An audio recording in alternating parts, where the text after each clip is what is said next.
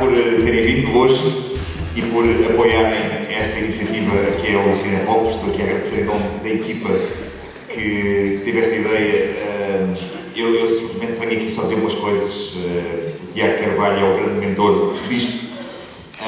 E eu estou-lhe muito grato e acho que vocês também devem estar. Hoje vamos ver Alien, o oitavo passageiro. Geralmente o, episódio da saga Alien preferido de toda a gente é o segundo, Aliens, o Recontro Final, que é um filme de guerra e muito sangrento e violento, e é incrível, de facto, é um grande filme.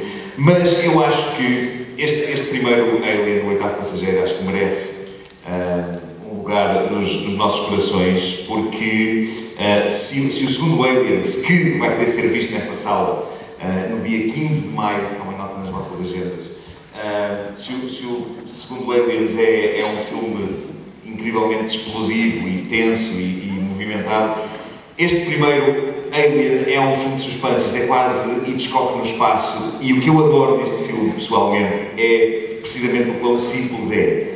Ou seja, temos uma nave, temos sete seres humanos, um gato e um extraterrestre.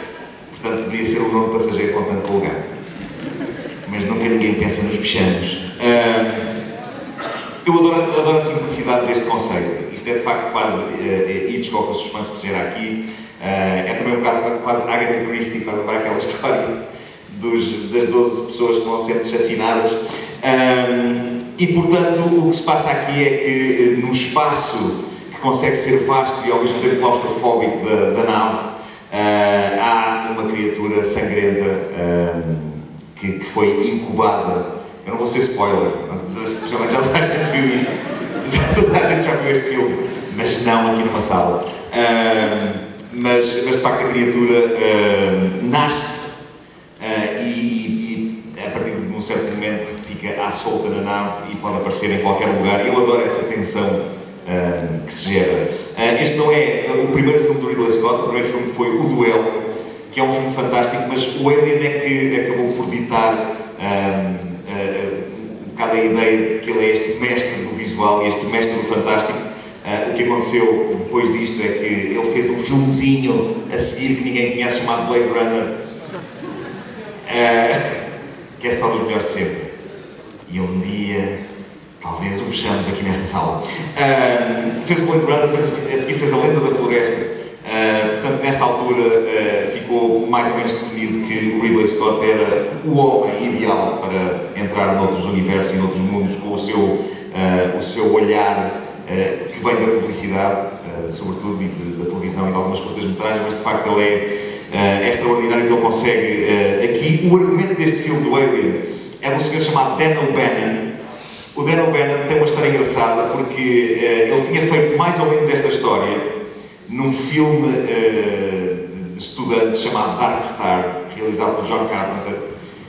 E é de facto, é, há uma nave e há um extraterrestre, uh, só que o Dark Star é uma comédia delirante e muito barata. É daqueles casos em que, como era, não havia dinheiro, mais valia levar aquilo para a comédia logo, antes das pessoas começarem a usar. O Alien, no fundo, é uma espécie de Dark Star, tal como ele gostaria de ter feito logo inicialmente. E de facto, uma, uma, das cenas mais icónicas é a de um peito de onde sai um extraterrestre. Um, eu acho que para as, as, gerações mais novas que estão habituadas a CGI, o momento em que o Alien sai dentro do peito, se calhar, é capaz de estar um bocadinho desatualizado. Mas eu devo dizer-vos que eu continuo absolutamente fã do tipo de efeitos que nós vemos aqui e em filmes como o, The Thing, que veio do outro mundo, do John Carpenter. Uh, nada contra a, a, animação de computador, mas uh, o facto de nós sentirmos que as criaturas estavam ali naquele sítio com os atores, os atores estavam a contracenar, mesmo que sejam figuras de animatrónica, uh, o facto de estarem lá é logo outra coisa. Eu acho The Thing ainda um dos filmes mais arrepiantes de, de toda a história. Eu acho que parte do encanto é pelo facto de não serem criaturas criadas em computador uh, e, e sim prodígios autênticos de de, de, mecânica e de eletrónica. É claro que temos falado também, eu não vos vou amassar muito mais, mas temos falado do Giger, o Hans Rudolf Giger fez uh, o visual não só do Alien, mas dos interiores da nave. Uh, o Ridley Scott escolheu de facto o Giger para fazer esse, esse look. Os executivos da 20th Century Fox achavam que as ilustrações e as pinturas do Giger eram demasiado perturbantes. E o Ridley Scott pensou, cadê essa ideia, não é?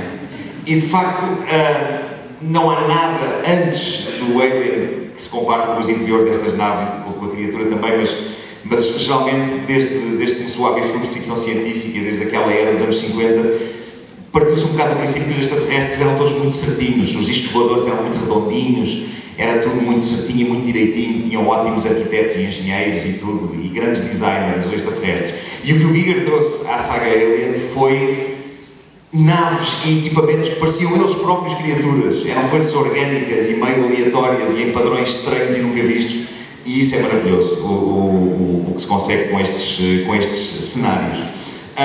E, e, pronto, para terminar, há que louvar a replay da Sigourney Weaver, primeira grande heroína. Hoje em dia está a haver um ressurgimento de grandes heroínas de ficção científica, basta pensarmos no, no Star Wars mais recente, Force Awakens, e é claro que todos vimos o trailer do Rogue One e estamos todos em pulgas para ver.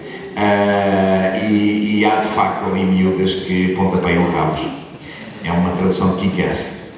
Uh, e pronto, para terminar, só umas curiosidades muito breves. Uh, um dos projetores, que isto da NET é maravilhoso, um dos projetores que ilumina o interior da Câmara dos Ovos foi emprestado ao Ridley Scott pelos da Who, que estavam a encerrar um concerto no estúdio ao lado. É famoso, gostava de luz, foi lá ter com eles, importa-se bem emprestar esse projetor e eles tudo bem. Uh, e depois há, há, quem ache o Blade Runner e o Alien se passam num universo partilhado. Porque algum do equipamento que aparece no Alien volta a aparecer no Blade Runner. E isso leva a que muita gente tenha teorias incríveis de que se calhar é tudo mais ou menos no mesmo universo. E não, parece que tudo se resume a duas palavras, poupança e reciclagem. São caros de fazer, não é? Pronto, uh, muito obrigado por isso. Para a semana teremos o Quadrinho 2 aqui nesta sala e depois 15 de maio Aliens, o Reconto Final. Agora divirtam-se com este filme incrível, Alien, o Oitavo Passageiro. Obrigado.